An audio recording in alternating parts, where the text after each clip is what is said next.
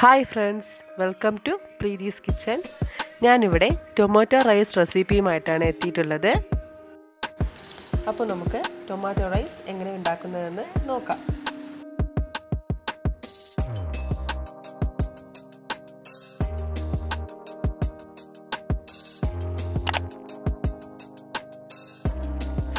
Tomato rice ഉണ്ടാക്കാൻ വേണ്ടിയിട്ട് ഞാനിവിടെ കുക്കറാണ് എടുത്തിട്ടുള്ളത്.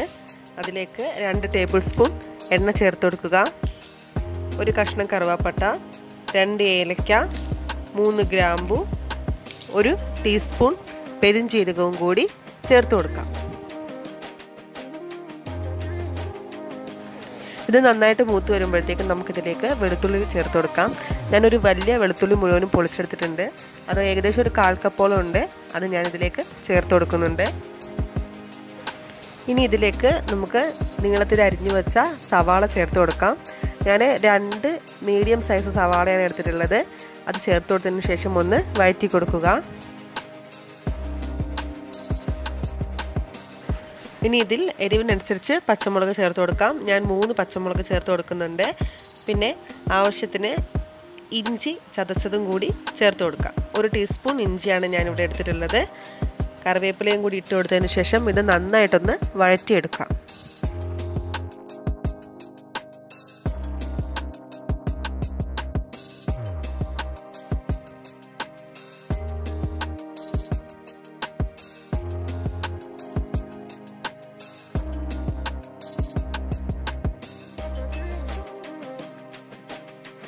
സവാളയൊക്കെ ഇപ്പോൾ നന്നായിട്ട് വഴന്ന് വന്നിട്ടുണ്ട്. ഇനി ഇതിലേക്ക് നമുക്ക് മൂന്ന് പഴുത്ത തക്കാളി അരച്ചെടുത്തത് ചേർത്ത് കൊടുക്കാം. ഞാൻ മിക്സിയിൽ നന്നായിട്ട് ഇതൊന്ന് അരച്ചെടുത്തിട്ടുണ്ട്. ഇത് ഈ സവാളയിലേക്ക് ചേർത്ത് കൊടുത്തതിന് ശേഷം പച്ചമണം മാറുന്നത് വരെ നന്നായിട്ടൊന്ന് വഴറ്റി കൊടുക്കാം.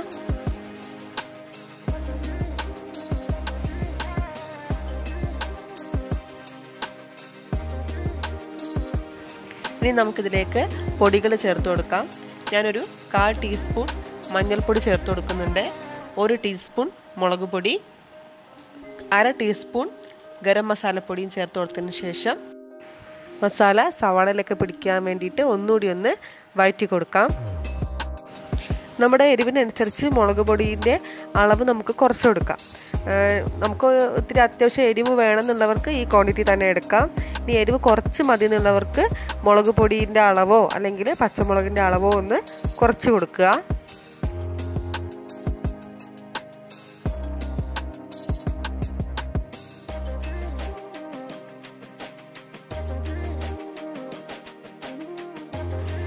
ഇപ്പോൾ ടൊമാറ്റോ റൈസിന് വേണ്ടിയിട്ടുള്ള മസാലയൊക്കെ നന്നായിട്ട് റെഡിയായി വന്നിട്ടുണ്ട്. ഇനി ഇതിലേക്ക് വേണ്ട അരി നമുക്ക് എടുക്കാം. ഞാൻ ഈ ഗ്ലാസിന്റെ അളവിലാണ് അരി എടുത്തിട്ടുള്ളത്. ഇതിന്റെ രണ്ട് ഗ്ലാസ് അരിയാണ് ഞാൻ എടുത്തിട്ടുള്ളത്. അത് നന്നായിട്ട് കഴുകിയതിന് ശേഷം നമുക്കിത് ഈ മസാലയിലേക്ക് ചേർത്ത് കൊടുക്കാം. അരി എടുത്ത അതേ അളവിൽ തന്നെ നമുക്ക് ചൂടുവെള്ളം എടുത്തതിന് ശേഷം കുക്കറിലേക്ക് ഒഴിച്ചു കൊടുക്കാം. ഇനി ഇതിലേക്ക് ആവശ്യത്തിന് ഉപ്പും കൂടി ചേർത്ത് കൊടുക്കുക. എന്നിട്ട് നന്നായിട്ടൊന്ന് ഇളക്കി കൊടുത്തതിന് ശേഷം അടച്ചു വെച്ച് മൂന്ന് വിസിൽ വരുന്നത് വരെ നമുക്കിതൊന്ന് വേവിച്ചെടുക്കാം.